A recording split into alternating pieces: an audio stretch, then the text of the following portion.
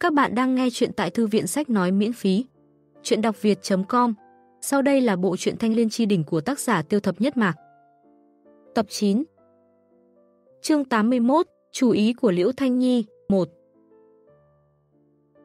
Vương Trường Sinh lên tiếng đáp ứng, cầm lấy một cái bánh bao cho vào miệng. Tay cầm thực hạp đi về phía thư phòng. Không qua bao lâu, hắn đã đến thư phòng. Vương Minh Viễn đang thương thảo gì đó với Vương Minh Trí. Đại bá cũng ở đây sao? Đại bá đã dùng điểm tâm chưa? Cùng nhau ăn đi. Vương Minh Trí khoát tay áo, rồi nói, ta không có khẩu vị. Tam đệ, ngươi ăn điểm tâm trước đi. Ăn xong chúng ta lại tiếp tục thương thảo. Vương Minh Viễn lắc lắc đầu, cười khổ, đại ca, ngươi ăn không vô, ta cũng ăn không vô. Vương Trường Sinh nhíu mày, hắn chưa bao giờ thấy bộ dáng như thế này của phụ thân và đại bá. Chẳng lẽ tộc nhân áp giải linh khí bị giết hại? Nghĩ đến đây, hắn có chút lo lắng hỏi, cha, xảy ra đại sự gì sao? Lâm gia Hồng Diệp lĩnh phái người đến cửa cầu hôn. Con của gia chủ Lâm gia Lâm Ngọc Đình muốn cưới nhị tỷ vương trường tuyết của ngươi. Vấn đề là, Lâm gia hy vọng nhị tỷ của ngươi làm bình thê. Bình thê nói thì dễ nghe, thật ra không phải chỉ là thiếp thất sao. Vương Minh Viễn chậm rãi nói, trong giọng nói lộ ra vài phần bất đắc dĩ. Nói thật, lúc biết được con trai độc nhất của gia chủ Lâm gia muốn cưới Vương Trường Tuyết. Vương Minh Viễn và Vương Minh Trí đều rất cao hứng. Lâm gia có cây đại thụ che trời tử tiêu môn vân tiêu chân nhân chống lưng, tương lai phát triển của Lâm gia rất tốt. Có một thông gia như vậy, sau này sự phát triển của Vương gia cũng sẽ thuận lợi hơn ít nhiều.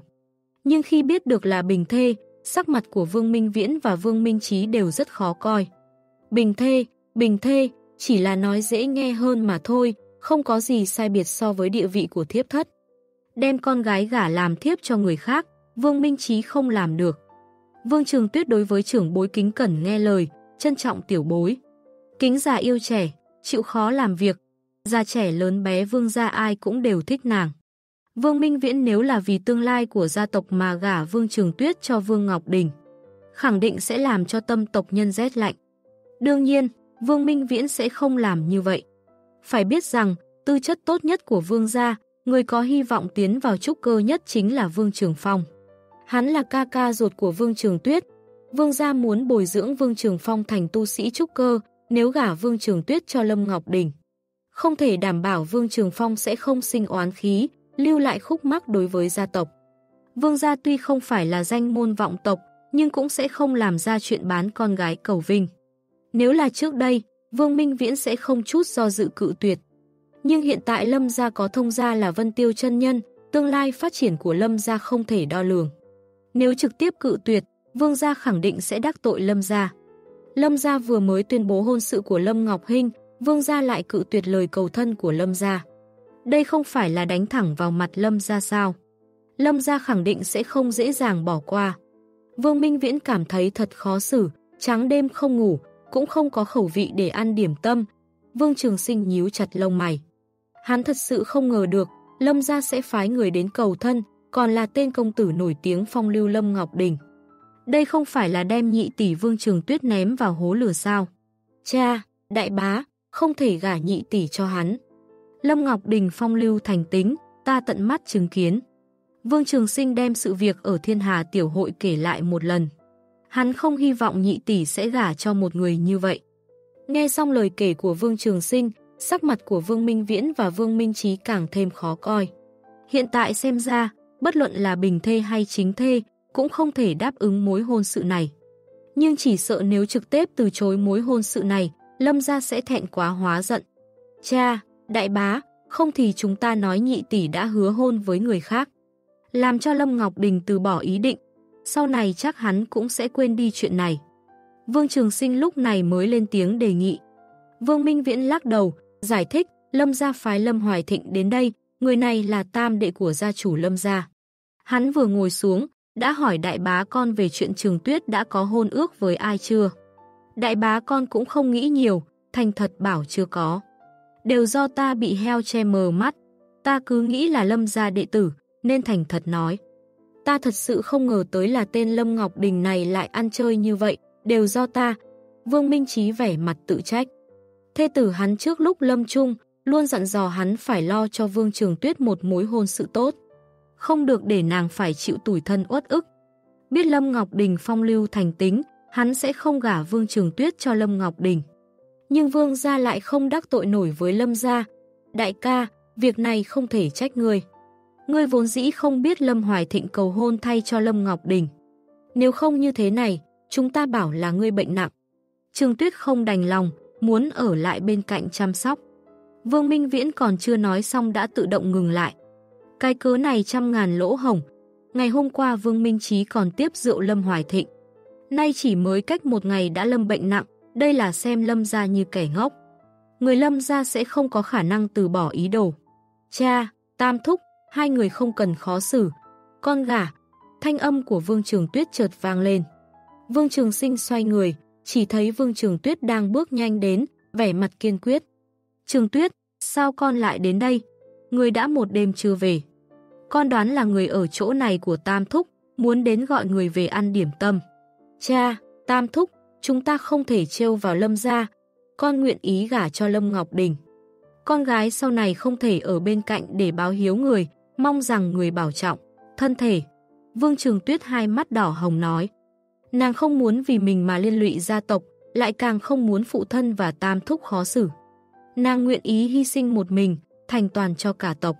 Ai, con không biết Lâm Ngọc Đình là loại người như thế nào sao? Mẹ con trước lúc Lâm Trung kéo tay cha, luôn dặn dò. Bảo cha tìm cho con một mối hôn sự tốt, không thể để con chịu uất ức tủi thân. Lâm Ngọc Đình phong lưu thành tính, nếu gả con cho Lâm Ngọc Đình, sau này cha chết, cha biết ăn nói như thế nào với mẹ của con. Vương Minh Trí thở dài nói, nước mắt nhịn không được mà lăn dài trên hai gò má. Chương 82, chú ý của Liễu Thanh Nhi, 2 Vương Trường Tuyết vẻ mặt mạnh mẽ, cố nặn ra một chút tươi cười, an ủi, cha, con gái sớm hay muộn cũng phải lập gia đình, gả cho ai mà không giống nhau. Tốt xấu gì Lâm Ngọc Đình cũng là con trai độc nhất của gia chủ Lâm gia, cũng không tính là tủi thân uất ức gì. Cũng lắm thì sau này con gái nhắm mắt không quản là được. Vương Minh Viễn khoát tay áo, nghiêm túc nói, Trường Tuyết, con không cần nói nữa. Tam Thúc sao có thể đồng ý gả con cho Lâm Ngọc Đình. Tam Thúc không thể trơ mắt nhìn con nhảy vào hố lửa. Biết rõ Lâm Ngọc Đình phong lưu thành tính, nếu ta vẫn cố chấp gả con cho hắn thì có tư cách gì để làm gia chủ? Có tư cách gì đối mặt với liệt tổ liệt tông? Loại chuyện bán nữ cầu vinh này, Vương Minh Viễn ta làm không được. Vương Trường Sinh cau mày, đầu óc nhanh chóng xoay tròn. Đột nhiên, ánh mắt hắn sáng lên, mở miệng, cha, con nghĩ đến một biện pháp. Có lẽ nhị tỷ không cần gả cho Lâm Ngọc Đình. Biện pháp gì? Mau nói. Vương Minh Viễn thúc giục, Vương Minh Trí và Vương Trường Tuyết vẻ mặt chờ mong nhìn Vương Trường Sinh. Chúng ta có thể đáp ứng hôn sự này. Sau đó vào ngày đón dâu, phái người chặn đường cướp dâu. Như vậy Lâm gia cũng không thể nói gì. Trước đây con ở thế tục cũng có xảy ra chuyện như vậy. Ai, đây thì tính là cái chủ ý gì? Lâm gia nếu phái trúc cơ tu sĩ hộ tống, con có thể cướp trường tuyết về sao? Cho dù con có thể cướp về, sao Lâm gia có thể từ bỏ ý đồ? Nếu sau này truy ra là chúng ta làm, mối họa càng lớn hơn nữa. Biện pháp này không thể thực hiện. Vương Minh Viễn khoát tay áo, phủ quyết đề nghị này. Đúng vậy, biện pháp này của con không thể thực hiện được. Đúng lúc này, Liễu Thanh Nhi đi vào, nhìn thấy bốn người Vương Minh Viễn vẻ mặt u sầu, nhíu mày hỏi, mọi người đang nói chuyện gì vậy? Sao nhìn sắc mặt ai cũng khó coi như vậy? Vương Trường Sinh kể lại chi tiết sự tình cho Liễu Thanh Nhi nghe. Nghe xong, nàng cười khẽ, nói với Vương Minh Viễn, Viễn ca, chàng còn nhớ không? Lúc trước cha chàng không đồng ý hôn sự của chúng ta, đem chàng nhốt lại. Chàng không phải muốn cùng ta cao chạy xa bay sao. Nếu trường tuyết cùng người khác bỏ trốn, lâm gia cũng không thể nói gì. Nhưng nếu như vậy, đành phải uất ức trường tuyết rồi. Trong khoảng thời gian ngắn nàng không thể trở lại gia tộc, thanh danh cũng sẽ không tốt, ngày sau sẽ khó lập gia đình. Chủ ý này không tồi. So với hạnh phúc cả đời của trường tuyết, thanh danh không là gì cả. Trường tuyết, con cảm thấy sao? Vương Minh Trí hai mắt sáng ngời, hưng phấn hỏi. Vương Trường Tuyết có chút động tâm, nhưng nàng nhớ tới điều gì đó, lắc đầu từ chối, Lâm Hoài Thịnh chưa chắc sẽ tin lý do này. Lâm gia cũng không phải kẻ ngốc, không có khả năng không nhìn ra là chúng ta đang tìm cớ. Cha, Tam Thúc, mọi người vẫn là để con gả cho Lâm Ngọc Đình đi. Con không muốn liên lụy gia tộc, cũng lắm sau này nữ nhi mắt nhắm mắt mở cho qua là được. Vương Minh Viễn khoát tay áo, nghiêm mặt nói, Trường Tuyết, ta là gia chủ, ta định đoạt. Đại ca, chúng ta đi tìm nhị bá, hỏi ý kiến của nhị bá về chuyện này. Trường Tuyết, con ở lại chỗ này, trước khi ta và cha con trở lại, không được chạy loạn. Trường sinh, quan sát nhị tỷ của con, đừng để nàng làm chuyện hồ đồ. Vương Minh Viễn và Vương Minh Trí vội vã rời khỏi, để lại Vương Trường Tuyết vẻ mặt yêu sầu. Liễu Thanh Nhi vỗ vỗ bả vai Vương Trường Tuyết, an ủi, Trường Tuyết, yên tâm đi. Ta tin tưởng cha con và Tam Thúc sẽ không gả con cho Lâm Ngọc Đình. Nữ sợ gả sai chồng, gả cho Lâm Ngọc Đình, cả đời này của con xem như bị hủy. Nếu kiên quyết gả con cho Lâm Ngọc Đình, Tam Thẩm là người đầu tiên không đồng ý. Nàng vẫn luôn muốn sinh thêm một đứa con gái, đáng tiếc không thể như nguyện. Lúc Vương Trường Sinh đến huyện Bình An đảm nhiệm thiên sư, Vương Trường Tuyết giúp Liễu Thanh Nhi đưa đồ cho Vương Trường Sinh. Liễu Thanh Nhi thật sự rất thích tiểu cô nương này. Luôn yêu thương Vương Trường Tuyết như con gái ruột. Nàng cũng không muốn Vương Trường Tuyết gả cho một công tử nổi tiếng trang hoa. Đúng vậy, nhị tỷ, ngươi yên tâm đi, ta tin tưởng phụ thân và đại bá. Sẽ không gả ngươi cho Lâm Ngọc Đình đâu. Vương Trường Sinh gật đầu, phụ họa. Thời gian một chén trà nhỏ trôi qua, Vương Minh Viễn và Vương Minh Trí trở lại, vẻ mặt hưng phấn. Trường Tuyết, nhị bá đồng ý, nhưng diễn trò phải diễn cho nguyên bộ, sau này chúng ta sẽ phái người đi khắp nơi tìm con. Con phải trốn đi một nơi thật xa, hơn nữa, nơi này phải an toàn. Nhị bá thương lượng với chúng ta, quyết định cho con đến Bạch Long Cốc tại Ngụy Quốc để tránh đầu sóng ngọn gió. Chờ sự tình lắng xuống, sẽ lại đón con trở về. Bạch Long Cốc là phường thị được ngũ đại tông môn ngụy quốc mở. Chỉ cần con không rời khỏi phường thị, sẽ tuyệt đối an toàn. Gia tộc sẽ cho con một khoản linh thạch, sẽ không để cho con lưu lạc đầu đường. Nếu có thời gian rảnh, chúng ta sẽ đến thăm con. Vương Trường Tuyết nghe vậy, tảng đá treo ở trong lòng cũng rơi xuống, gật đầu nói, không thành vấn đề, khi nào con phải rời đi. Càng nhanh càng tốt, càng kéo dài thời gian, sơ hở sẽ càng nhiều con đi gặp Trường Phong đi, báo tình hình với hắn. Sau đó ta phái người đưa con rời khỏi. Vương Trường Sinh hơi do dự, mở miệng nói, cha, con cũng đi, để con hộ tống nhị tỷ. Lần này Vương Trường Tuyết rời khỏi, không biết khi nào mới có thể trở về. Vương Minh Viễn vui mừng, gật đầu đồng ý, không uổng công Trường Tuyết thương con. Vậy con hộ tống Trường Tuyết đi. Vương Minh Trí thở dài, mũi có chút chua xót lấy từ túi chữ vật ra toàn bộ linh thạch, giao cho Vương Trường Tuyết. Lời nói thấm thía, Trường Tuyết, về sau cha không thể ở bên cạnh con, con nhớ chăm sóc tốt bản thân. Làm việc gì cũng phải thần cận. Về sau có rảnh, cha sẽ đến thăm con. Cha, con không cần dùng nhiều linh thạch như vậy. Người giữ đi. Vương Trường Tuyết đôi mắt ngập nước, từ chối. Trường Tuyết, ra bên ngoài, rất nhiều chỗ phải dùng đến linh thạch.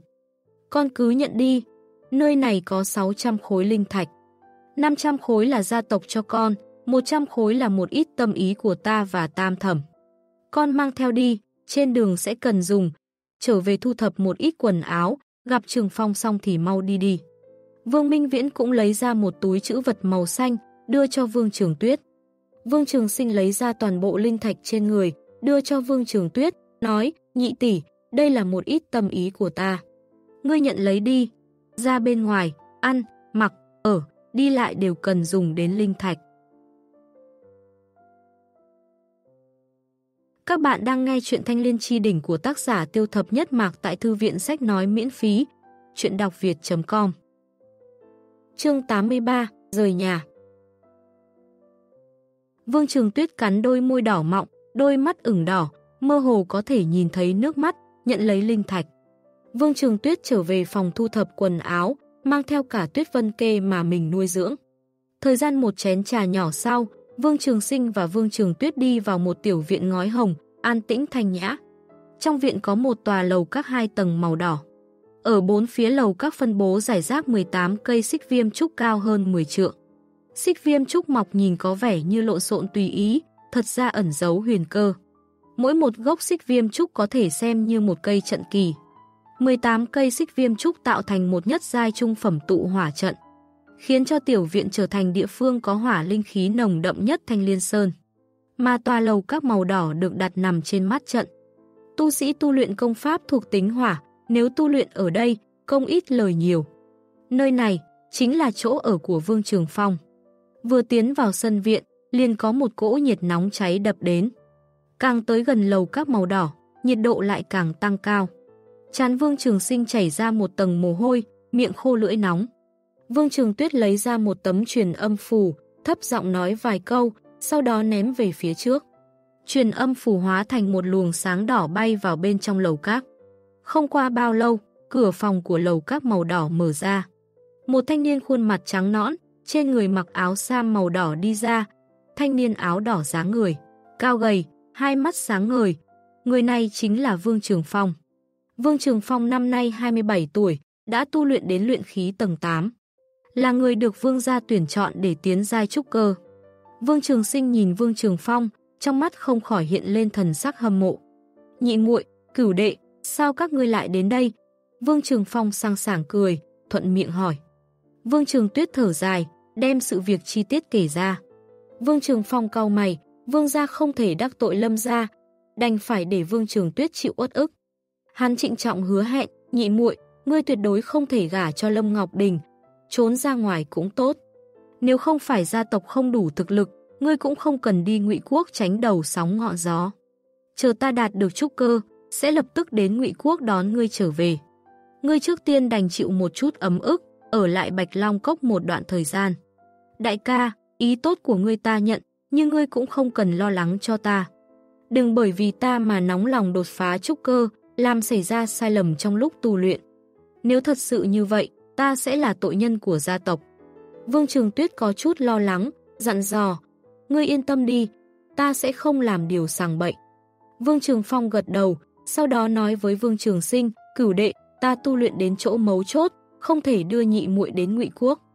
Làm phiền ngươi đưa nhị muội đến nơi an toàn. Đại ca, ngươi yên tâm. Ta nhất định sẽ hộ tống nhị tỷ an toàn đến Bạch Long Cốc. Vương Trường Sinh lên tiếng đáp ứng. Vương Trường Phong lại dặn dò Vương Trường Tuyết vài câu. Sau đó mang 300 khối linh thạch mình tích góp được, đều cho Vương Trường Tuyết. Vương Trường Tuyết từ chối nhưng không được, đành phải nhận lấy. Trở lại thư phòng, hai chân Vương Trường Tuyết mềm nhũn, quỳ xuống, dập đầu ba cái với Vương Minh Trí, viên mắt đỏ hồng nói, con gái không thể ở bên chăm sóc người. Mong người bảo trọng thân thể. Vương Minh Trí nức nở, đứng lên đi. Đều do cha vô dụng, con ở Bạch Long Cốc nhớ phải sống tốt. Không được rời khỏi Bạch Long Cốc. Đợi sự tình lắng xuống, cha lập tức đón con trở về. Sinh nhi, sau khi con và Lục Thúc đưa Trường Tuyết đến Bạch Long Cốc, thì trực tiếp đi đến Tiên Duyên Thành đi, không cần trở lại đây. Sinh nhi, Tiên Duyên Thành không phải huyện Bình An. Ngư long hỗn tạp, kiểu người gì cũng đều có. Con cũng không nên chạy loạn, thành thật ở trong Tiên Duyên Thành, tất cả nghe theo nhị thập ngũ thúc công. Nhớ chưa? Ta có làm ít lương khô, các con đem theo trên đường mà ăn đi. Liễu Thanh Nhi lời nói thấm thía dặn dò, lấy ra một túi chữ vật màu xanh, đưa cho Vương Trường Sinh. Vương Trường Sinh nhận lấy túi chữ vật, mở miệng đáp ứng.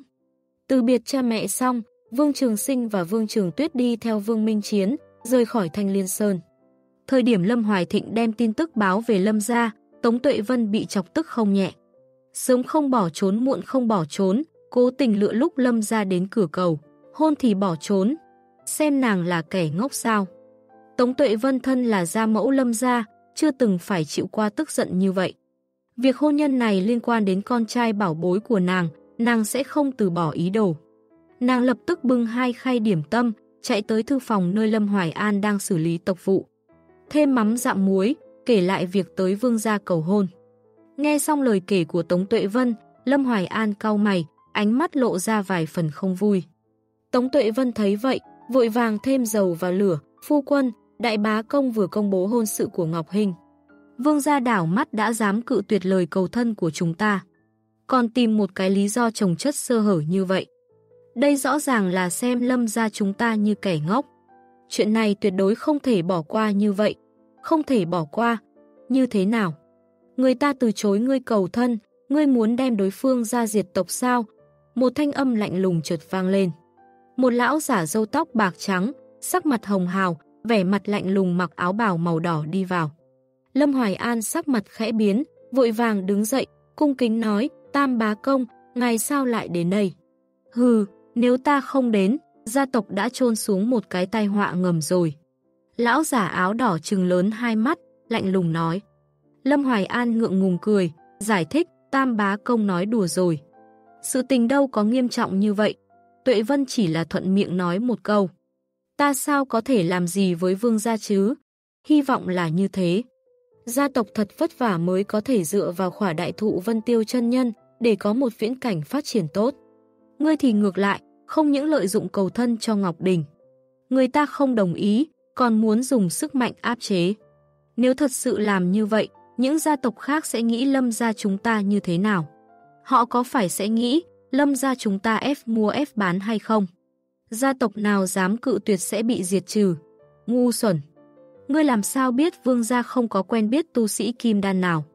Chúng ta không phải tán tu đơn độc, làm việc gì cũng phải suy nghĩ cho hậu nhân nhiều một chút. Chương 84 Bày sạp Tống Tuệ Vân bĩu môi, nhỏ giọng phản bác, tam bá công, ta cũng không có muốn tiêu diệt vương gia. Nhưng vương gia xem chúng ta như kẻ ngốc. Việc này nếu truyền ra ngoài, người khác còn tưởng rằng lâm gia chúng ta dễ khi dễ. Ít nhất cũng phải cho vương gia nếm một ít đau khổ chứ. Chuyện của vương gia dừng ở đây, tương lai phát triển của lâm gia rất tốt. Việc làm cấp bách hiện tại là mở rộng làm ăn, gia tăng lợi nhuận. Không thể vì chút chuyện nhỏ mà làm mất lợi ích lớn. Đương nhiên, vương gia không biết phân biệt tốt xấu. Đợi có cơ hội, lại thu thập vương gia cũng không muộn. Vâng, tam bá công. Tôn Nhi nhớ kỹ. Lâm Hoài An lên tiếng đáp ứng. Tống Tuệ Vân có chút không nguyện ý, gật đầu đáp ứng. Tương truyền, hơn ngàn năm trước, Bạch Vân Sơn Mạch xuất hiện một con tam dài, ác long, sát hại không ít tu sĩ tu tiên. Sau này, năm tông môn ngũ quốc phái đến tu sĩ Kim Đan, ra tay chém giết ác long. Vì để phòng ngừa lại xuất hiện chuyện như vậy, năm tông môn ngụy quốc thành lập một tòa phường thị ở sâu trong Bạch Vân Sơn Mạch, gọi là Bạch Long Cốc. Sau này, Bạch Vân Sơn Mạch cũng đổi tên thành Bạch Long Sơn Mạch. Bạch Long Cốc là phường thị do năm tông môn ngụy quốc liên hợp mở. Có thể thường xuyên mua được ở đây những linh vật độc nhất vô nhị của năm tông môn. Hơn nữa, ở Bạch Long Sơn Mạch tài nguyên yêu thú phong phú, hấp dẫn lượng lớn tu sĩ đến Bạch Long Cốc. Hoặc mở tiệm làm ăn, hoặc đi giết yêu thú. Trải qua hơn 1.000 năm phát triển, Bạch Long Cốc đã trở thành đệ nhất đại phường thị của Ngụy Quốc. Dưới sự cai quản của năm tông môn Ngụy Quốc, chỉ riêng tiền thuê cửa hàng, hàng năm có thể cung cấp cho năm tông môn Ngụy Quốc chục vạn khối linh thạch, càng đừng nói đến những khoản tiền lời khác. Vì thế, năm tông môn Ngụy Quốc phái ba vị kim đan tu sĩ tọa chấn Bạch Long Cốc, chấn nhiếp bọn trộm cướp. Ngoài ra, còn có đệ tử của năm tông môn thay phiên tuần tra, ngày đêm không nghỉ. Kể từ đó, Bạch Long Cốc tự nhiên trở thành đệ nhất đại phường thị Ngụy Quốc, 10 phần phồn hoa. Bên trong Bạch Long Cốc, vô số con đường giao nhau ngang dọc. Trên một con đường lớn sạch sẽ, Vương Minh Chiến dẫn theo Vương Trường Sinh và Vương Trường Tuyết chậm rãi cất bước. Lúc này, bọn họ đã rời khỏi Thanh Liên Sơn được hơn 4 tháng. Sau khi tiến vào lãnh thổ Ngụy Quốc, ba người Vương Minh Chiến không quản ngày đêm tiến thẳng đến Bạch Long Cốc, cuối cùng cũng đã đến nơi. Vương Trường Sinh vừa đi vừa đánh giá cửa hàng hai bên đường, trong mắt tràn đầy vẻ khiếp sợ. Bạch Long Cốc không hổ là đệ nhất đại phường thị của Ngụy Quốc, chỉ tính đến diện tích đã bằng 10 cái thiên hà phường thị gộp lại. Các cửa hàng kinh doanh đủ loại thương phẩm, phần lớn kinh doanh tài liệu yêu thú. Vương Trường Tuyết nhìn dòng người đi trên đường, đôi mắt đẹp hiện lên vài phần lo lắng. Nàng chưa bao giờ đi quá xa nhà, càng chưa từng tới Bạch Long Cốc. Để nàng một người ở đây sống vài năm, khẳng định sẽ có chút không thích ứng. Trên đường tới đây, Vương Trường Sinh nhìn thấy không ít vị tu sĩ kỳ quái. Thậm chí có tu sĩ cưỡi xài lang hổ báo thay cho đi bộ. Người qua đường đều là một bộ dáng đã nhìn quen. Đi dạo một lúc lâu, ba người tìm được một nhà khách điếm phù hợp, mỗi tháng hai khối linh thạch. Thuê hai gian phòng bình thường, xung quanh khách điếm có tiệm ăn, tiệm may, tiệm gạo, tiệm thuốc. Sau này nếu cần mua các vật dụng hàng ngày cũng thuận tiện. Sau khi tìm được chỗ ở, Vương Minh Chiến dắt hai người bước vào một tiệm mì, gọi ba bát mì gà. Rất nhanh, tiểu nhị đã mang ba bát mì gà lên. Mì gà là món có giá rẻ nhất trong tiệm. Một bát mì gà một khối linh thạch, mì thịt bò hai khối linh thạch. Trường Tuyết, trong vài năm tới, ngươi phải sinh hoạt. Ở đây, nơi đây không những chỉ có tu sĩ của ngụy Quốc, còn có tu sĩ Đại Tống, Bắc Đường cũng đổ về đây. Ngư long hỗn tạp, ngươi làm việc gì cũng phải suy xét cẩn thận, không được rời khỏi phường thị. Lúc nào rảnh, Lục Thúc sẽ đến thăm ngươi. Vương Minh Chiến có chút lo lắng dặn dò. Ta đã biết, Lục Thúc. Vương Trường Tuyết gật gật đầu, do dự một lát, nói, Lục Thúc, cửu đệ, ta muốn mở một tiệm bán điểm tâm. Miệng ăn núi lở, linh thạch luôn sẽ có ngày dùng hết. Ta đã rời khỏi gia tộc, không thể lại lấy tài nguyên tu luyện từ gia tộc. Huống chi nơi này cách Thanh Liên Sơn quá xa, cũng không thể để cho tộc nhân đi đưa tài nguyên tu luyện cho ta được. Ta suy nghĩ rồi, ta muốn tự lực gánh sinh, mở một tiệm điểm tâm. Trên người Vương Trường Tuyết có hơn 1.000 khối linh thạch. Nàng không biết mình phải ở lại Bạch Long Cốc trong thời gian bao lâu. Linh thạch rồi cũng sẽ có ngày dùng hết, nàng không thể để tộc nhân không quản đường xá xa xôi đưa tài nguyên tu luyện cho nàng. Điều này không thực tế, nàng càng nghĩ càng cảm thấy mình phải tự lực gánh sinh. Vương Minh Chiến nhíu mày nói, mở tiệm điểm tâm, tiền thuê một gian cửa hàng cũng không rẻ. Nếu làm ăn không tốt, Linh Thạch làm vốn dễ dàng như bát nước hát đi. Ta vừa rồi có quan sát một chút, tiệm điểm tâm trong Bạch Long Cốc cũng không nhiều. Thời điểm ở nhà, ta có học làm điểm tâm cùng nhị thầm, tam thầm. Ở Thiên Hà Phường Thị cũng mua một quyển chế tác điểm tâm điển tịch, vừa hay có thể dùng tới. Giá cả ở Bạch Long Cốc có vẻ cao, một bát mì gà cũng đã tiêu tốn một khối linh thạch. Nhất giai trung phẩm linh cốc 3 khối linh thạch một cân. Ta lại chưa ít cốc, một năm trôi qua, riêng đồ ăn đã muốn tiêu tốn không ít linh thạch rồi. Không mở tiệm điểm tâm, linh thạch tiêu hết thì phải làm sao bây giờ? Vương Minh Chiến cảm thấy Vương Trường Tuyết nói có đạo lý. Hắn cũng là lần đầu tiên đến Bạch Long Cốc, giá hàng ở đây quả thực cao. Chỉ tính ăn uống, một năm trôi qua, chính là một khoản linh thạch lớn rồi. Thanh Liên Sơn cách quá xa Bạch Long Cốc, phái người đưa tài nguyên tu tiên cho Vương Trường Tuyết sẽ hao phí nhiều nhân lực. Nếu như tộc nhân vận chuyển tài nguyên tu tiên xảy ra bất chắc, chờ được Vương gia phái người chạy tới. Vương Trường Tuyết đã chết đói rồi, để Vương Trường Tuyết tự lực gánh sinh là lựa chọn tốt nhất. Thứ nhất không cần gia tộc quan tâm, thứ hai tương đương với việc Vương gia có một cứ điểm mới. Ngày sau gia tộc luyện chế linh khí, có thể lấy đến Bạch Long Cốc bán. Như vậy đi, ăn xong, chúng ta đi dạo xem một chút. Tìm hiểu giá điểm tâm, tiền thuê cửa hàng, lại đưa ra quyết định cũng không muộn. Vương Trường Tuyết cảm thấy Vương Minh Chiến nói có đạo lý, mở miệng đáp ứng. Ăn uống no đủ, ba người dọc theo con đường, dạo quanh xem xét.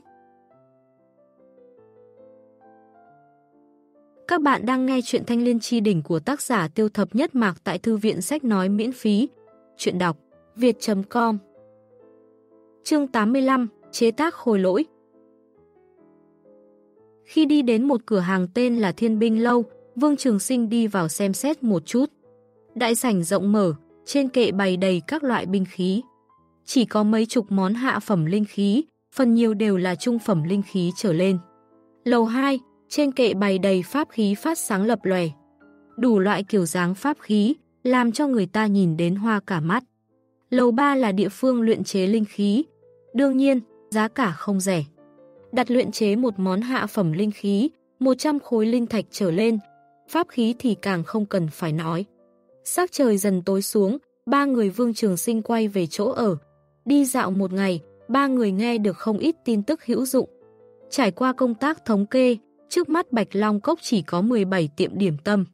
Giá cả gần như nhau, hương vị cũng không khác biệt mấy.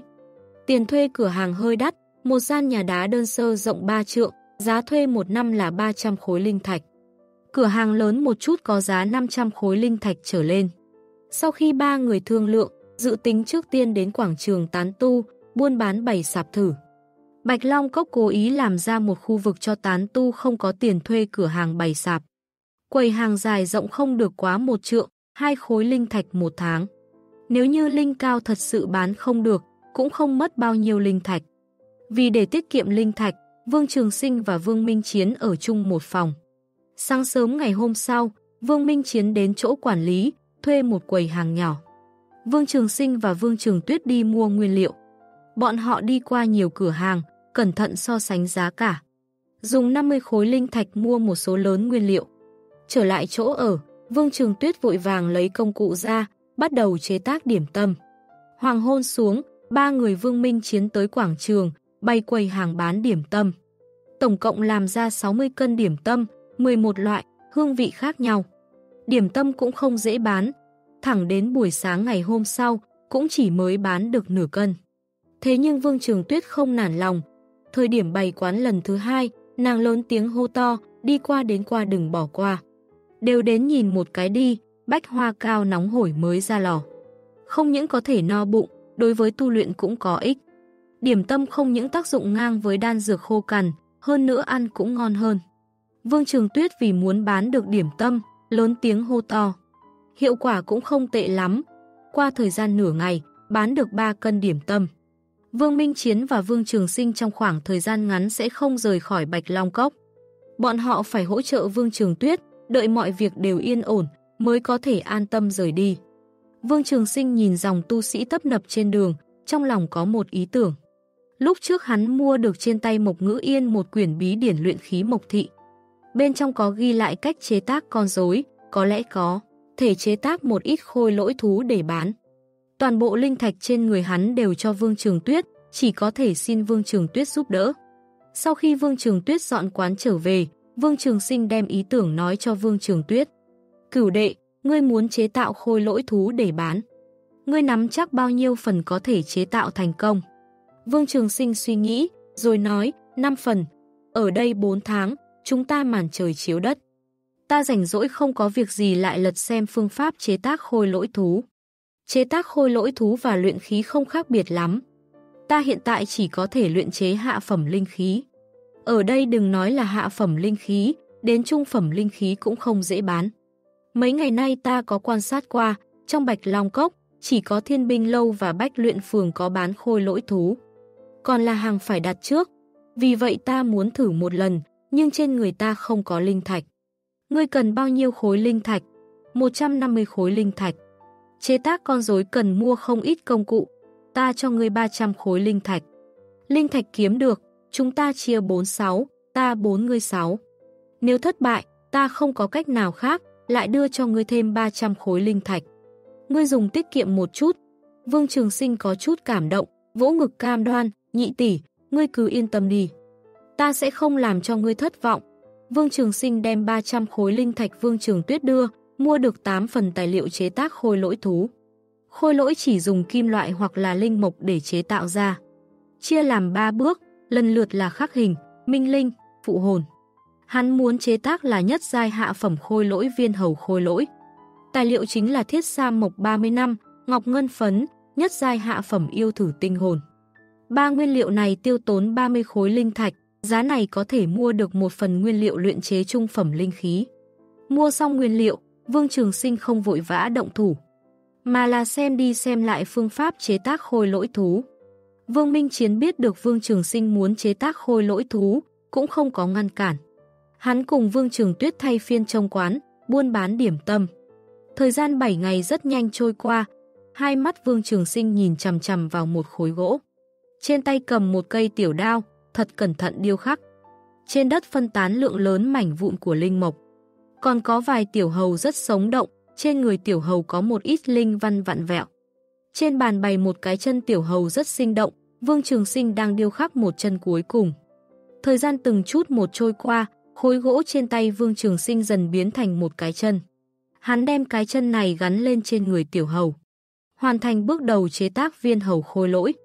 Vì tiết kiệm chi phí, hắn mua một ít linh mộc 5-6 năm luyện tập. Luyện tập nhiều lần, khả năng chạm trổ của hắn mới có tiến bộ. Điêu khắc con rối thành hình, chỉ mới là bước đầu trong chế tác khôi lỗi thú. Sau khi điêu khắc được một tiểu hầu, Vương Trường Sinh lấy ra một tiểu đao màu bạc dài hai tấc, điêu khắc lên phần đầu của con rối. Tiểu đao màu bạc tản mát ra một trận linh khí mỏng manh. Đây là một món hạ phẩm linh khí, chuyên dùng để điêu khắc linh văn, gọi là linh văn đao. Trên người nhất giai hạ phẩm khôi lỗi thú phải điêu khắc nhiều loại linh văn khác nhau, cụ thể là điêu khắc linh văn gì, sẽ tùy vào người chế tác định đoạt.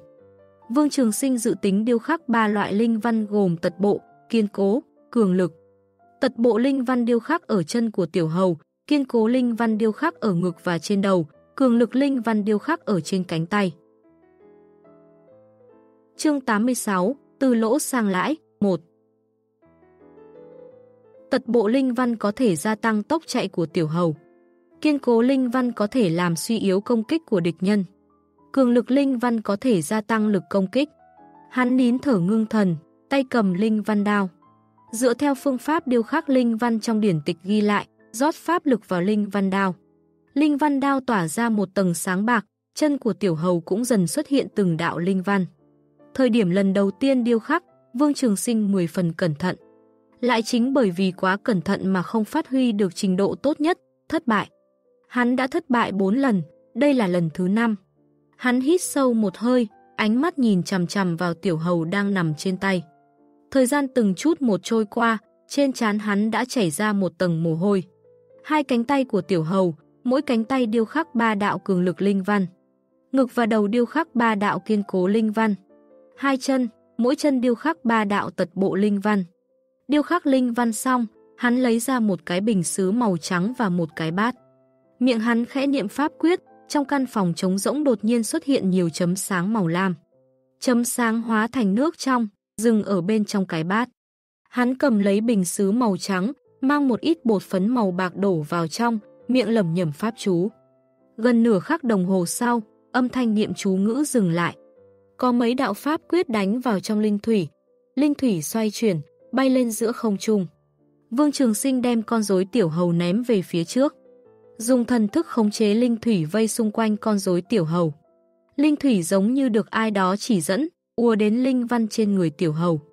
Thể tích của linh thủy cũng rất nhanh thu nhỏ lại. Không qua bao lâu, linh thủy tiêu biến hết. Tiểu hầu lơ lửng giữa không trung, tay, chân, ngực, đầu đều lập lòe ánh sáng của linh văn màu bạc. Vương Trường Sinh lộ ra thần sắc vui mừng. Lấy từ trong lòng ra một cái bình màu đen, mở ra, một đoàn ánh sáng màu lục lớn bằng trứng chim từ trong đó bay ra. Linh văn màu bạc trên người tiểu hầu như có lực hấp dẫn nào đó. Thu hút chấm sáng màu lục chậm rãi bay đến, sau đó nhập vào trong người tiểu hầu, biến, mất không thấy. Đoàn sáng màu lục thật ra là một cái tinh hồn nhất giai hạ phẩm yêu thú. Mỗi một con khôi lỗi thú đều phải luyện nhập tinh hồn yêu thú mới có thể sử dụng. Vương Trường Sinh vội vỗ lên lưng con rối tiểu hầu. Vang lên một tiếng trầm nặng, lộ ra một cái cửa ngầm. Hắn mang một khối hạ phẩm linh thạch thả vào, khép lại cửa ngầm. Tiểu hầu giống như sống dậy, cao hơn một người.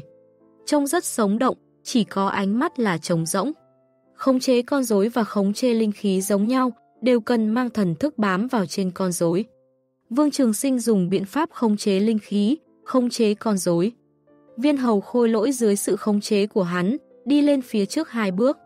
Loại cảm giác này mười phần kỳ diệu, thật giống như có thêm một bản thể giống mình. Vương Trường Sinh cẩn thận quan sát, phát hiện hành động của viên hầu khôi lỗi không quá tự nhiên. Hiển nhiên, con rối này chất lượng không tốt, nhưng hắn vẫn có thể bán đi. Đúng lúc này, một trận tiếng kêu chít chít từ túi linh thú bên hông truyền đến. Vương Trường Sinh cười khẽ một chút, mở ra túi linh thú. Song đồng thử từ trong đó đi ra, nhảy lên trên bờ vai của hắn. Trong miệng phát ra hai tiếng kêu chít chít, tựa như muốn cái gì đó. Hai năm này, cuộc sống của Vương Trường Sinh đã tốt hơn nhiều. Cứ cách một đoạn thời gian, hắn sẽ dùng nhất giai hạ phẩm linh cốc nuôi nấng song đồng thử. Song đồng thử ăn không ít nhất giai hạ phẩm linh cốc, càng thêm thân cận Vương Trường Sinh, thường xuyên đòi hắn linh cốc để ăn. Vương Trường Sinh lấy ra một cái hộp gỗ màu vàng, mang một ít nhất giai hạ phẩm linh cốc đổ lên trên bàn. Song đồng thử người được hương khí mê người mà linh cốc tản mát ra, lập tức từ trên vai Vương Trường Sinh nhảy xuống, dừng ở trên bàn. Rất nhanh, hai lượng linh cốc đã bị nó ăn sạch. Vương Trường Sinh đút cho nó một ít nước trong, sau đó đem nó thu hồi vào túi linh thú. Đi vào quán nhỏ của Vương Trường Tuyết, Vương Trường Sinh đưa ra tiểu hầu khôi lỗi. Cửu đệ, ngươi thật sự luyện chế ra khôi lỗi thú. Vương Trường Tuyết kinh ngạc, trong mắt hiện lên thần sắc khó tin. Nói thật, nàng không ôm hy vọng gì đối với Vương Trường Sinh. Nếu khôi lỗi thú dễ dàng luyện chế như vậy thì Bạch Long Cốc cũng không đến mức chỉ có hai cửa hàng bán khôi lỗi thú. Vương Trường Sinh lúc trước cho nàng 300 khối linh thạch, nàng chỉ là mang trả linh thạch lại cho Vương Trường Sinh. Nàng vốn tưởng rằng Vương Trường Sinh thất bại mấy lần sẽ buông bỏ, không nghĩ tới Vương Trường Sinh thật sự luyện chế ra khôi lỗi thú. Hắc hắc, nhị tỷ, ngươi quên tam bá công rồi sao? Lúc còn nhỏ, ta cùng hắn học điêu khắc rồi gỗ. Sau lại bị phụ thân phát hiện, nghiêm khắc gian dạy, ta lúc này mới không tiếp tục điêu khắc rồi gỗ. Tam bá công Vương Diệu Kiệm xuất thân thế tục, phụ thân là một vị thợ mộc. Năm hắn 6 tuổi, kiểm tra đo lường có linh căn, liền đưa lên Thanh Liên Sơn bắt đầu tu hành. Vương Diệu Kiệm là ngũ linh căn, tư chất rất kém cỏi. Hắn đối với tu luyện cũng không có nhiều hứng thú, lại hứng thú với điêu khắc rồi gỗ. Một lần cơ duyên đưa đẩy, Vương Trường Sinh nhìn thấy Vương Diệu Kiệm điêu khắc rối gỗ rất sống động. Hắn thích thú, cầu xin Vương Diệu Kiệm dạy hắn điêu khắc rối gỗ. Từ đó về sau, chỉ cần có thời gian rảnh, Vương Trường Sinh sẽ chạy tới chỗ Vương Diệu Kiệm, học tập điêu khắc rối gỗ. Vương Diệu Kiệm có một vợ cả một vợ lẽ, sinh được ba trai một gái, đều không có linh căn. Hắn xem những hậu nhân bối tự trường như con đẻ của mình. Vị cháu trai hắn thích nhất là Vương Trường Sinh, hắn mang mọi thứ đều dạy cho Vương Trường Sinh. Vương Diệu Kiệm chạm trổ rất cao minh, các đốt ngón tay của rối gỗ khéo léo vô cùng, hoạt động tự nhiên. Hắn thậm chí mô phỏng ngũ quan của mình, chế tác một khối rối gỗ hình người. Dưới sự chỉ dạy tận tình của Vương Diệu Kiệm, Vương Trường Sinh tiến bộ rất nhanh. Ngày vui chẳng bao lâu, trong một lần tình cờ, Vương Minh Viễn phát hiện Vương Trường Sinh có thời gian không lo tu luyện, thế mà lại đi học điêu khắc rối gỗ. Vương Minh Viễn nghiêm khắc gian dạy Vương Trường Sinh một chút, nói hắn mê muội mất cả ý chí, một cây đuốc thiêu hủy toàn bộ rối gỗ. Từ đó về sau, Vương Trường Sinh không còn điêu khắc rối gỗ nữa. Sau này lớn lên, Vương Trường Sinh nhớ lại đoạn chuyện cũ, cũng hiểu được mình thật hoang đường.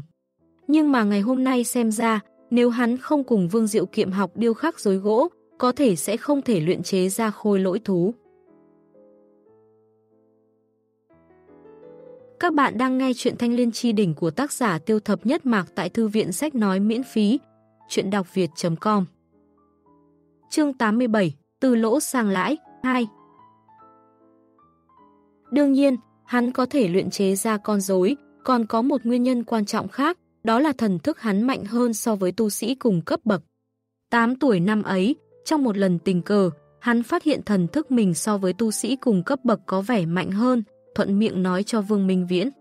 Vương Minh Viễn mời Vương Diệu Tông đến, Vương Diệu Tông tự mình kiểm tra. Còn vận dụng pháp khí tuy không kiểm tra ra cái gì nhưng xác nhận thần thức Vương Trường Sinh mạnh hơn so với tu sĩ cũng cấp, hắn dặn dò Vương Trường Sinh không được nói cho người khác biết. Vương Trường Sinh vốn tu luyện là thu thủy quyết, lúc ấy tu luyện đến luyện khí tầng 1. Nhưng khi hắn phát hiện thần thức mạnh hơn so với tu sĩ cũng cấp, Vương Minh Chiến đã yêu cầu hắn sửa đổi thành Vân Vũ Quyết. Còn nói là công pháp tổ truyền, bảo cho hắn không thể nói với ai. Vân Vũ Quyết cùng Thu Thủy Quyết đều là công pháp thuộc tính thủy, Vương Trường Sinh cũng không để ý. Nhưng một lần nữa tu luyện, đã làm Vương Trường Sinh lãng phí một năm vô ích. Vương Trường Sinh cũng không coi trọng, thần thức cường đại đối với tu luyện cũng không giúp gì. Cũng chỉ là khống chế được nhiều hơn vài món linh khí. Hắn thật không nghĩ tới thần thức cường đại, lại rất có ích đối với việc luyện chế khôi lỗi thú. Đương nhiên, vì luyện chế ra tiểu hầu khôi lỗi thú này, hắn dùng mất 5 phần tài liệu. Mà nhất giai hạ phẩm khôi lỗi thú ở chợ chỉ bán được nhiều hơn 60 khối linh thạch. Lúc trước Mộc Ngữ Yên bán tiểu hầu khôi lỗi thú với giá 50 khối linh thạch, khẳng định rẻ hơn so với giá cửa hàng xung quanh. Cái này cũng là chuyện bình thường, hàng hóa ở quầy hàng nhỏ so với cửa hàng sẽ rẻ hơn. Nếu giá giống nhau, tại sao người khác không mua ở cửa hàng? Ít nhất, nếu chất lượng có vấn đề thì có thể đến thương lượng. Chủ quầy hàng nhỏ hành tung không rõ ràng, nếu như bị lừa thì cũng không biết phải làm sao. Vương Trường Tuyết bừng tỉnh đại ngộ, nhẹ cười nói, nhớ chứ, ta sao mà không nhớ được. Lần đó nếu tam thẩm không ngăn cản, tam thúc đã đánh mông ngươi nở hoa rồi. Khôi lỗi thú này ngươi tính bán bao nhiêu linh thạch? Vương Trường Sinh nói, ở chợ nhất giai hạ phẩm khôi lỗi thú được bán với giá 60 khối linh thạch. Nếu rẻ hơn giá này một tí thì chúng ta có thể bán đi, 50 khối là được. 50 khối? Có ít quá không? 55 khối đi. Vương Trường Sinh lắc đầu nói, chỉ thấp hơn 5 khối linh thạch, người khác sao lại không đến thiên bình lâu mùa. Còn nữa, khôi lỗi thú này ta luyện chế vẫn chưa tốt, rẻ hơn một tí thì mới bán được. Nhị tỷ, ngươi cũng mệt mỏi rồi, trở về nghỉ ngơi đi, ta trông sạp cho. Vương Trường Tuyết cũng không phản đối, dặn dò vài câu thì rời khỏi. Thời gian từng chút trôi qua, sắc trời tối dần. Điểm tâm trên quầy hàng đều bán hết, chỉ còn lại tiểu hầu khôi lỗi thú. Có vài tên tu sĩ đến hỏi giá, tiếc là đều không mua. Bọn họ cảm thấy giá quá đắt, trả giá thấp thì Vương Trường Sinh không đáp ứng. Vương Trường Sinh cũng không nản lòng, nếu thật sự không bán đi được, hắn sẽ giữ lại để dùng. Bạch Long Sơn Mạch tài nguyên yêu thú phong phú, có một con khôi lỗi thú hỗ trợ, an toàn hơn một ít. Hắn lấy ra bí điển luyện khí mộc thị lật xem, khôi lỗi thú này ngươi bán như thế nào? Một giọng nói người nam có chút thô bạo truyền đến tai Vương Trường Sinh. Vương Trường Sinh vừa ngẩng đầu lên thì thấy ba nam một nữ đang đứng trước quầy hàng. Cầm đầu là một gã đại hán dâu quai nón hơn 40 tuổi, thân hình đại hán cao lớn, vẻ mặt dữ tợn, làm cho người ta có cảm giác hung dữ xấu xa. Vương Trường Sinh trên mặt bày ra một chút tươi cười rồi nói, 50 khối linh thạch, tốc độ chạy nhanh, hai tay mạnh mẽ, cho dù là dụ dỗ yêu thú hay ngăn cản, đều là lựa chọn không tồi.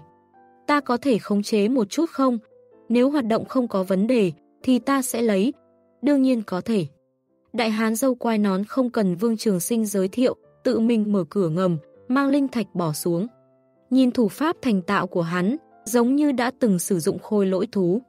Đại hán dâu quai nón khống chế tiểu hầu khôi lỗi thú đi lại vài bước, cũng để cho đồng bọn lấy ra một tấm. Thuẫn bài, khống chế viên hầu khối lỗi đánh phá thuẫn bài. Khôi lỗi thú này của ngươi hoạt động không linh hoạt lắm, 50 khối rất cao, 40 khối thì được. Đạo hữu nói đùa, giá thu vào là 40 khối linh thạch, 48 khối, ngươi để ta kiếm một ít đi. Trải qua cò kè mặc cả, Vương Trường Sinh lấy giá 46 khối linh thạch, bán đi tiểu hầu khôi lỗi. Bán đi viên hầu khôi lỗi thú, Vương Trường Sinh dọn quầy về nhà. Về đến chỗ ở, hắn an tâm ngủ một giấc. Sáng sớm ngày hôm sau, ăn xong điểm tâm, hắn bắt đầu luyện chế khôi lỗi thú. Có kinh nghiệm thành công ở phía trước, hắn lại luyện chế khôi lỗi thú, xác suất thành công cao hơn một ít. Ba phần tài liệu, hắn mất thời gian 5 ngày luyện chế ra hai viên hầu khôi lỗi thú. Hai viên hầu khôi lỗi thú, mỗi con bán đi giá 47 và 48 khối linh thạch. Ba con khôi lỗi thú bán 141 khối linh thạch, phí hao tổn 300 khối linh thạch. Lỗ 159 khối linh thạch, còn lại 3 bình ngọc ngân phấn cùng 3 con yêu thử tinh hồn. Vương Trường Sinh lại mua 4 phần tài liệu, tiếp tục luyện chế khôi lỗi thú. Hắn dùng 7 ngày để luyện chế ra 3 con viên hầu khôi lỗi, sau khi bán đi lỗ hơn 10 khối linh thạch. Vương Trường Tuyết cảm thấy Vương Trường Sinh ở phương diện này có thiên phú, lại đầu tư 500 khối linh thạch, cổ vũ hắn nâng cao công suất. Vương Trường Sinh 10 phần cảm động, càng nghiêm túc luyện chế khôi lỗi thú hơn. Hắn một hơi mua 20 phần tài liệu, hơn một tháng trời luyện chế ra 17 con viên hầu khối lỗi. Số lần luyện chế gia tăng, Vương Trường Sinh luyện chế ra sản phẩm từng bước hoàn thiện, giá từ 46 khối, từ từ tăng lên tới 50 khối. Ngay cả như thế, viên hầu khôi lỗi thú vừa mang ra, đã bán đi rất nhanh. Từ lúc ban đầu lỗ vốn, chậm rãi chuyển hướng lợi nhuận. Thời gian giống như ngựa phi nước đại, 4 tháng thời gian trôi qua rất nhanh. Trong phòng khách, Vương Trường Sinh cầm trên tay một khối hắc ưng khôi lỗi, đang khắc linh văn. Hiện tại hắn đang luyện chế nhất giai trung phẩm hắc ưng khôi lỗi. Trải qua nhiều lần luyện tập, hiện tại tỷ lệ hắn luyện chế thành công nhất giai hạ phẩm khôi lỗi thú đã lên đến 8 phần. Ngoài ra, khôi lỗi thú hắn luyện chế ra hoạt động ngày càng linh hoạt. Chế tác một cái nhất giai hạ phẩm khôi lỗi thú, nhanh nhất cũng phải 3 ngày, chậm cũng 5 ngày. Chương 88 Thanh lần Mã Chất lượng khôi lỗi thú mà hắn luyện chế không tồi, giá thành lại có vẻ thấp, rất được hoan nghênh. Nhất giai hạ phẩm khôi lỗi thú lợi nhuận cũng không cao, hắn không vừa lòng việc luyện chế nhất giai hạ phẩm khôi lỗi thú. Mục tiêu hiện tại của hắn là nhất giai trung phẩm khôi lỗi thú. Phi ưng khôi lỗi là nhất giai trung phẩm phi hành khôi lỗi thú. Tốc độ phi hành nhanh hơn so với trung phẩm linh khí.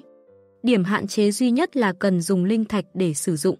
Luyện chế nhất giai trung phẩm khôi lỗi thú rất tôn phí, 50 khối linh thạch mới có thể mua một phần tài liệu.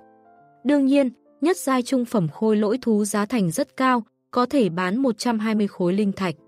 Nhất giai trung phẩm khôi lỗi thú có thể phóng ra nhất giai pháp thuật. Lực công kích mạnh hơn so với nhất giai hạ phẩm khôi lỗi thú. Ở dưới chân Vương Trường Sinh, có 5 con hắc ưng gỗ nằm giải rác. Đây là những vật phẩm thất bại, thời điểm minh khắc linh văn xảy ra sơ sót, hỏng rồi. Thời gian từng chút trôi qua, Vương Trường Sinh trên trán chảy ra từng tầng mùi hôi. Rất nhanh khắc xong tật phong linh văn cuối cùng, trên khuôn mặt mệt mỏi của hắn lộ ra chút ý cười. Khắc xong linh văn, chỉ còn một bước cuối cùng là hoàn thành, phụ hồn. Hắn điều phối linh dịch, dùng thần thức khống chế linh dịch vây quanh hắc ứng khôi lỗi. Linh văn trên hắc ưng khôi lỗi dường như có lực hấp dẫn đặc biệt nào đó. Linh dịch đều ùa vào bên trong linh văn, linh văn đột nhiên rồi rào linh khí. Con hắc ưng khôi lỗi này khắc tổng cộng 4 loại linh văn bao gồm tật phong, kiên cố, cường lực, thủy tiễn. Trên cánh minh khắc tật phong linh văn, như vậy hắc ưng khôi lỗi mới có thể phi hành. Hai móng khắc cường lực linh văn, có thể dùng hai móng công kích kẻ địch. Thân thể khắc kiên cố linh văn, có khả năng chống lại. Đầu khắc thủy tiễn phù văn, có thể phóng thích thủy tiễn thuật. Nếu chỉ là phóng thích thủy tiễn thuật, một khối hạ phẩm linh thạch chỉ có thể phóng thích 10 lần. Nếu chỉ dùng móng vuốt công kích kẻ địch, có thể liên tục trong nửa canh giờ.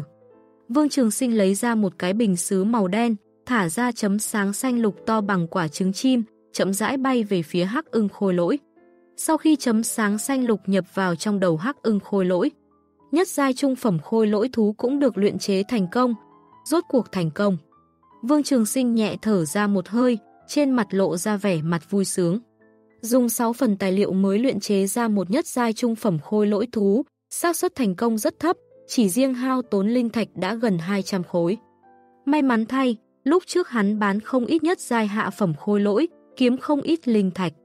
Trước mắt tuy là lỗ, nhưng về sau tỷ lệ thành công cao, hắn vẫn có thể thu được lợi nhuận. Vương Trường Sinh thu hồi hắc ưng khôi lỗi, tính đem đến quảng trường bán cho tán tu. Hắn mới ra khỏi cửa, đã thấy Vương Minh Chiến đang đi tới, khuôn mặt lộ vẻ u sầu. Lục thúc, làm sao vậy? Xảy ra việc gì sao? Vương Trường Sinh nhíu mày, thân thiết hỏi, chỉ sợ chúng ta phải rời khỏi Bạch Long Cốc. Vương Minh Chiến thở dài nói, đi trở về phòng. Đóng cửa phòng lại, Vương Minh Chiến cười khổ một tiếng rồi nói, một vị ở thiên binh lâu đã tìm đến ta, nói là hy vọng ngươi luyện chế khôi lỗi thú cho thiên binh lâu. Bọn họ cung cấp tài liệu, ngươi chỉ cần chuyên tâm luyện chế khôi lỗi thú. Luyện chế được một món khôi lỗi thú tốt, bọn họ sẽ chia cho ngươi một ít linh, thạch. Nếu ngươi không đáp ứng, bọn họ bảo sẽ không cho chúng ta ở trong phường thị buôn bán khôi lỗi thú.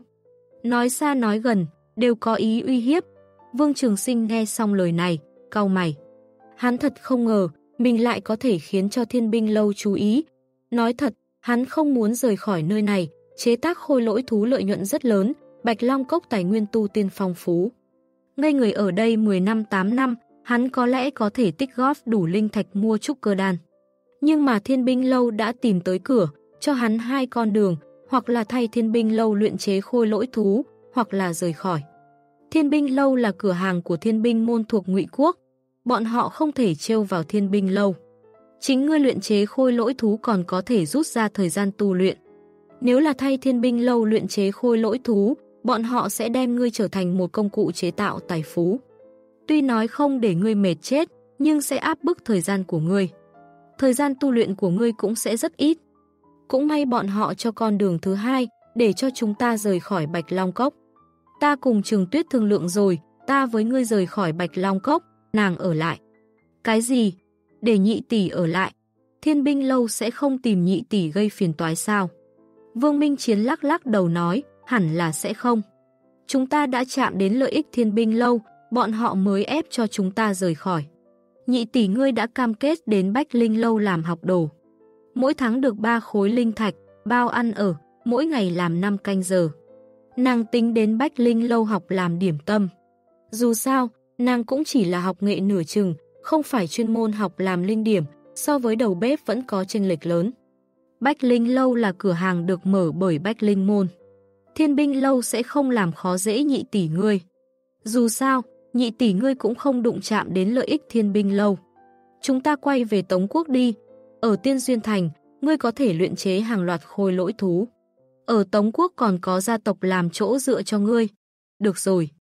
Cũng chỉ có thể như thế, vậy khi nào thì chúng ta rời đi? Rời đi càng sớm càng tốt.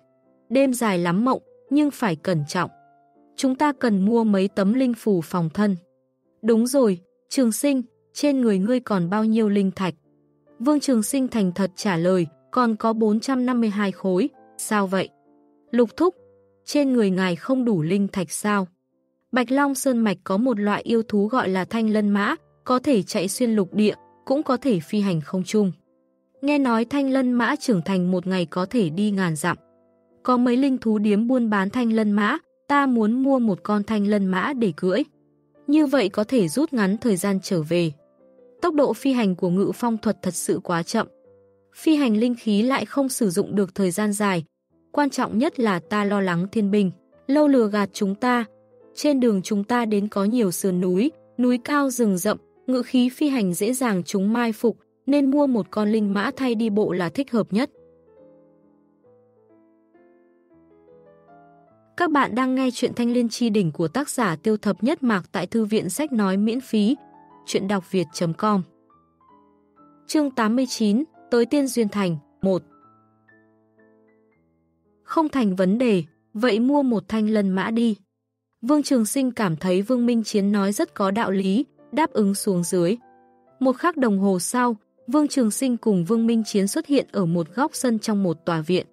Trong viện có hàng chục con thanh lân mã lớn nhỏ khác nhau được buộc trong sân. Thanh lân mã lưng có một đôi cánh, lông màu xanh, trên đầu có một chút vảy xanh cỡ nắm tay. Hai vị đạo hữu, đây là toàn bộ thanh lân mã trong điếm chúng ta. Từ nhất giai hạ phẩm đến nhị giai trung phẩm đều có. Nhất giai hạ phẩm thanh lân mã một ngày đi ngàn dặm, cũng có thể ngự không phi hành, tốc độ phi hành không khác hạ phẩm phi hành linh khí, giá bán 300 khối linh thạch. Nhất giai trung phẩm ngày đi được 3.000 dặm, giá 600 khối linh thạch. Nhất giai thượng phẩm ngày đi được 5.000 dặm, giá bán 1.000 khối linh thạch. Không biết các ngươi muốn loại như thế nào. Một gã người nam trung niên chỉ vào mấy chục con thanh lân mã, nhiệt tình giới thiệu. Trải qua một phen cò kè mặc cả, Vương Trường Sinh lấy giá 290 khối linh thạch, mua một con thanh lân mã cao nửa trượng, cũng dùng 10 khối linh thạch mua 5 cân thanh hoa thảo. Thanh hoa thảo là nhất giai hạ phẩm linh thảo, rất dễ gieo trồng. Một năm có thể cao bằng một người, dùng cho chăn nuôi linh mã, giá cả khá rẻ. Sau khi rời khỏi linh thú điếm, bọn họ đi linh phù điếm, mua hai lá độn địa phù cùng hai lá đại hỏa cầu phù. Vào ban đêm, Vương Trường Sinh hạ cấm chế cho thanh lân mã để thuận tiện sử dụng. Sáng sớm ngày hôm sau, sắc trời vừa hừng sáng. Vương Trường Sinh cùng Vương Minh Chiến rời khỏi khách điếm, rời khỏi cốc. Ra khỏi Bạch Long Cốc, Vương Trường Sinh thả ra thanh lân mã, hai người cưỡi thanh lân mã, chạy về hướng Tống Quốc. Thanh lân mã tốc độ cực nhanh, không bao lâu, hai người đã biến mất vào bên trong rừng núi mờ mịt.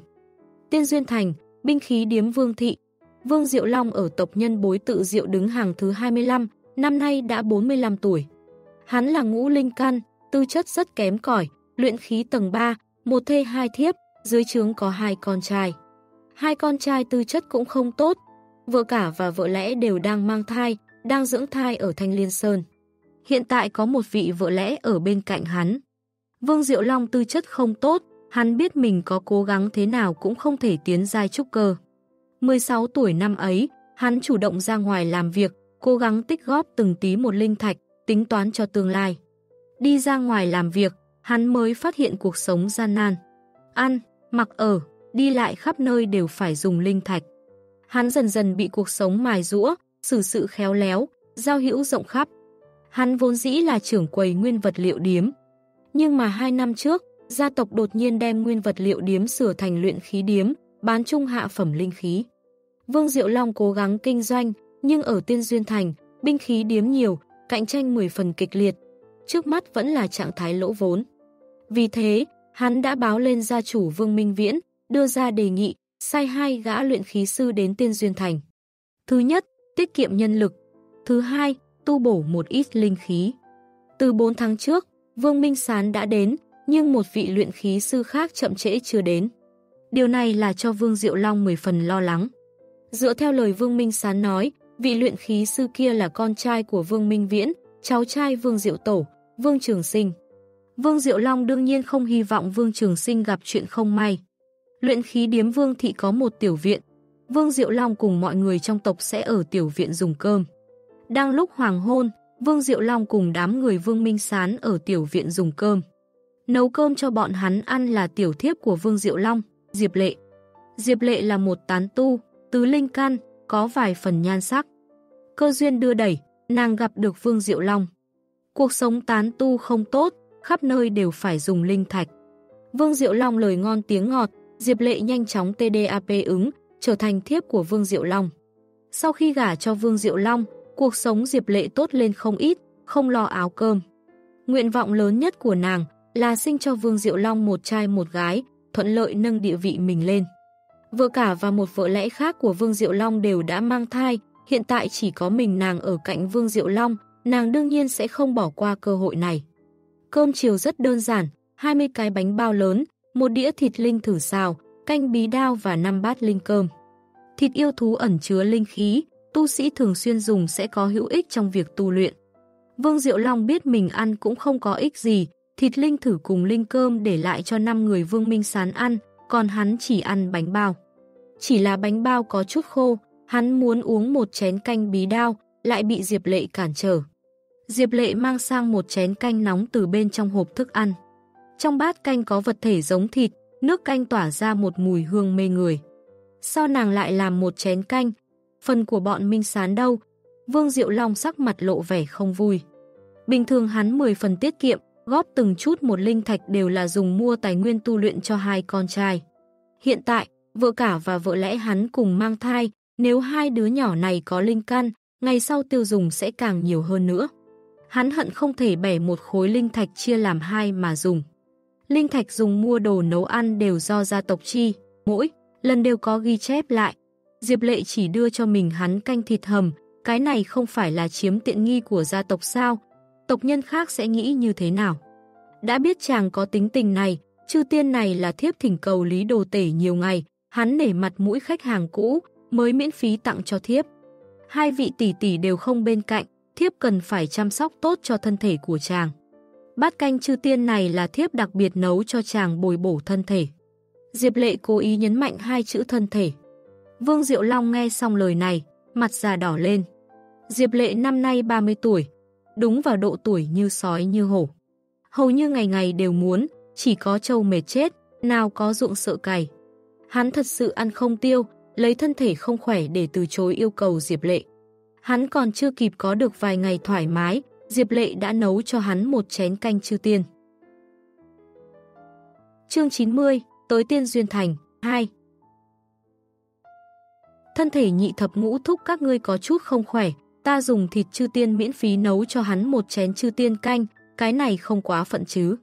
Diệp lệ nhìn phía Vương Minh Sán, mở miệng hỏi nói. Vương Minh Sán ngượng ngùng cười rồi nói, thẩm nói đúng, nhị thập ngũ thúc có vẻ mệt, đúng là cần bồi bổ. Chúng ta không có ý kiến, nhị thập ngũ thúc, đêm nay ngươi trở về nghỉ ngơi đi. Trong điếm ta sẽ đến trông là được rồi. Diệp lệ nghe vậy, trong lòng tươi cười hài lòng nói, vẫn là Minh Sán hiểu chuyện. Ngươi ăn nhiều thịt linh thử vào, đêm nay đành vất vả cho ngươi ở lại trong cửa hàng. Được rồi, dù sao trong điếm cũng không có gì làm. Minh Sán, đêm này ngươi vất vả rồi. Vương Diệu Long không nài nỉ nữa, uống sạch canh chư tiên, thịt chư tiên cũng ăn hết. Đúng lúc này, có một giọng nói sang sảng vang lên, thơm quá à. Xem ra chúng ta đến thật đúng lúc, tới giờ ăn tối rồi. Tiếng nói vừa dứt, Vương Minh Chiến cùng Vương Trường Sinh đi đến. Thanh lân mã tốc độ cực nhanh, hai người dùng thời gian hơn 2 tháng, rốt cuộc cũng tới Tiên Duyên Thành. Minh Chiến, Trường Sinh, sao lâu vậy các ngươi mới đến? Vương Diệu Long hai mắt sáng ngời, đứng dậy, thân thiết hỏi. Trên đường có việc, phải trì hoãn một khoảng thời gian. Để cho nhị thập ngũ thúc phải lo lắng rồi. Vương Diệu Long khoát tay áo cười nói, không có việc gì, bình an tới là tốt rồi. Các ngươi còn chưa có ăn cơm đúng không? Mau ngồi xuống ăn cơm. Vương Minh Chiến cùng Vương Trường Sinh cũng không khách khí, ngồi xuống ăn. Nhị thập ngũ thúc, cơm nước xong, ta có chuyện rất quan trọng muốn bàn với ngài. Vương Diệu Long mặt lộ vẻ khó xử, Diệp Lệ vẻ mặt u oán liếc nhìn. Lục ca, ngươi cùng Trường Sinh đi đường xa lâu như vậy, cũng mệt mỏi. Đêm nay các ngươi nghỉ ngơi trước đi, có việc này mai rồi nói sau. Nhị thập ngũ thúc đêm nay còn có việc. Vương Minh Sán xuất hiện đánh một vòng tròn, nói lảng sang chuyện khác. Bỏ đi, nếu Minh Chiến có việc, vậy thì bàn công việc trước, giải quyết xong việc thì trở về. Đủ, sao ta cũng không vội. Diệp Lệ lắc lắc đầu, nói đầy ẩn ý. Vương Diệu Long nét mặt già nua ửng đỏ, ho nhẹ một tiếng nói, biết rồi. Ta xử lý mọi chuyện, sẽ lập tức trở về. Ăn uống no đủ, bốn người Vương Diệu Long, Vương Minh Chiến, Vương Trường Sinh tới một gian phòng lầu 2. Vương Minh Chiến mang sự tình nói đại khái một lần, biết được Vương Trường Sinh có thể luyện chế khôi lỗi thú, Vương Diệu Long hưng phấn đập bàn, kích động nói, tốt. Trường Sinh, làm tốt lắm. Trong tiên duyên thành chỉ có một cửa hàng bán khôi lỗi thú, còn phải đặt trước mới có. Có khôi lỗi thú, chúng ta nhất định sẽ làm ăn tốt lên. Nhị thập ngũ thúc, chuyện trường sinh có thể luyện chế khôi lỗi thú này, trước mắt chỉ chúng ta biết. Hãy cẩn trọng, đừng cho nhiều người biết. Vương Minh Chiến hơi do dự, nhắc nhở nói. Vương Diệu Long khoát tay áo nói, ta làm việc có chừng mực, ngươi cứ yên tâm. Các ngươi mới đến, nhất định là mệt chết rồi. Các ngươi nghỉ ngơi ngay tại lầu 2 đi. Đêm nay các ngươi cứ nghỉ ngơi cho tốt, ngày mai bắt đầu luyện chế khôi lỗi thú cũng không muộn. Nếu không còn việc gì khác, ta đi về nghỉ ngơi trước. Minh Sán, trong điếm giao cho ngươi. Vâng, nhị thập ngũ thúc. Vương Diệu Long dặn dò vài câu, liền vội vã rời khỏi. Thập thất thúc, nhị thập ngũ thúc sao mặt đỏ vậy? Vừa rồi có phải ăn đồ cay không? Vương Trường Sinh nhìn Vương Diệu Long vội vàng rời khỏi, rất là khó hiểu. Vương Minh Sán vỗ vỗ bả vai Vương Trường Sinh, tựa cười mà không cười nói, ngươi còn nhỏ, về sau sẽ rõ.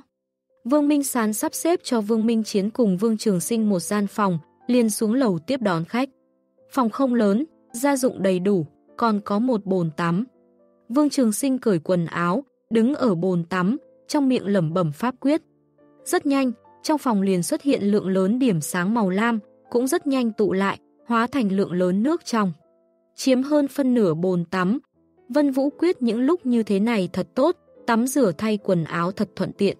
Hắn thư thái đi tắm, thay một bộ quần áo sạch sẽ. Sau đó ngồi đả tọa ở trên giường, bắt đầu tu luyện khẩu quyết tầng thứ hai của Vân Vũ quyết. Rất nhanh, trong phòng liền tràn ngập lượng lớn điểm sáng màu lam.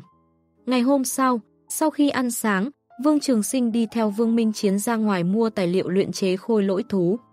Tiên Duyên Thành là một tòa thành trì được xây dựng bên ngoài bách thú Sơn Mạch. Từ trên cao nhìn xuống, bố cục của các cửa hàng ở Tiên Duyên Thành giống một cái vòng tròn bát quái lớn. Yêu thú ở bách thú Sơn Mạch rất nhiều, điều này đã tồn tại mấy ngàn năm. Tứ đại tông môn thường giết sạch yêu thú trên tam giai, để lại nhất giai cùng nhị giai yêu thú, dùng để rèn luyện cho tân đệ tử. Đồng thời cũng hấp dẫn người tu tiên đến trao đổi tài nguyên. Tiên Duyên Thành do tứ đại tông môn cùng thành lập, giao thương phát đạt. Chẳng những bày ra một bộ trận pháp tam giai cửu cung bát quái trận, còn có tu sĩ kim đan kỳ trấn, giữ. Nhiều năm trôi qua đều bình an vô sự. Kiến trúc hai bên đường đa phần đều là các cửa hàng làm ăn buôn bán. Nhiều nhất là các cửa hàng bán tài liệu yêu thú. Đan dược điếm cùng binh khí điếm số lượng cũng không ít. So sánh với Bạch Long Cốc, Tiên Duyên Thành kém xa. Nhưng so với Thanh Trúc Phường Thị, Tiên Duyên Thành lại lớn hơn nhiều. Qua hai tháng tiếp theo, chính là Đại hội Thăng Tiên 20 năm một lần của Tống Quốc. Lượng lớn người tu tiên các nơi đến Tống Quốc, khiến cho Tiên Duyên Thành càng thêm phồn hoa. Các thương gia vì mời chào khách hàng, hoặc phái người hét to, hoặc thêm ưu đãi, đều vì muốn có thể kiếm thêm nhiều một chút lợi nhuận. Đại hội Thăng Tiên không chỉ là cách tứ đại tông môn tuyển thêm đệ tử, mà còn là sự kiện giao dịch của Tống Quốc. Luyện khí lão điếm đã có lịch sử trăm năm, mau vào nhìn một cái. Mua linh khí của điếm chúng ta, tỷ lệ bái nhập môn phái rất lớn. Thanh nguyên đan tốt nhất, nhất giai thượng phẩm luyện đan sư luyện chế, giá rẻ, chất lượng tốt. Muốn mua linh phù, đạo hữu mau đến nhìn một cái. Bổn điếm linh phù đều là do đệ tử tử tiêu môn luyện chế. Cam đoan chất lượng tuyệt đối, trên đường dòng người như nước. Đám tiểu nhị cầm khuếch âm thạch, ở cửa hàng lớn tiếng thét to. Vương Minh Chiến đã hỏi qua Vương Diệu Long, nơi bán nguyên vật liệu lớn nhất trong tiên duyên thành là Thiên Linh Lâu. Thiên Linh Lâu là cửa hàng do Thanh Dương Tông mở. Chuyên bán các loại nguyên vật liệu, mua số lượng lớn có thể rẻ hơn một tí. Đại sảnh rộng mở sáng ngời, trên giá bày rất nhiều loại tài liệu, linh thảo, khoáng thạch, lá bùa.